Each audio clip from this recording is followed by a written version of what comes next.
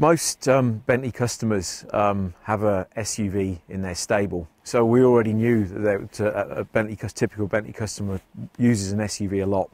Um, Bentleys have always been about strength, solidity, uh, safety, performance, and obviously with the Continental four-wheel drive. So all of those attributes together obviously make a fantastic base for an SUV. So it was a logical next step for Bentley.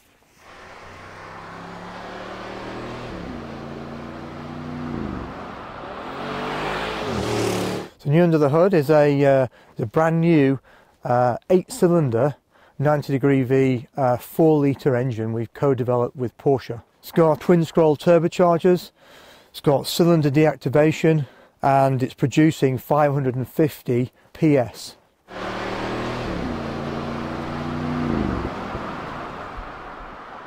It's all about customer choice. Um, luxury is about choice. Luxury is about personalisation. Luxury is about what do you want from your car. So the W12 really represents the ultimate in, in luxury, the ultimate in, in refinement. Um, but for some markets, um, there's something about a V8, there's something about the character of a V8, there's something about the unique performance characteristics of a V8 that a V8 is the only thing that, uh, that will do. So our aim with Bentley is always is to satisfy whatever the customer demand is.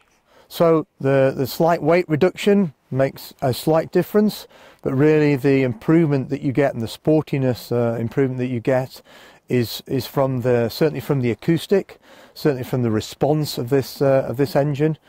Um, they are the main differences that give it its sporty appeal.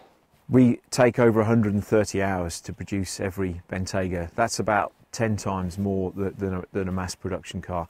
Everything is handcrafted in Crewe. We don't make a premium car, we only make a luxury car. So we can focus our energy, our effort onto making it absolutely the best without constraint, without compromise.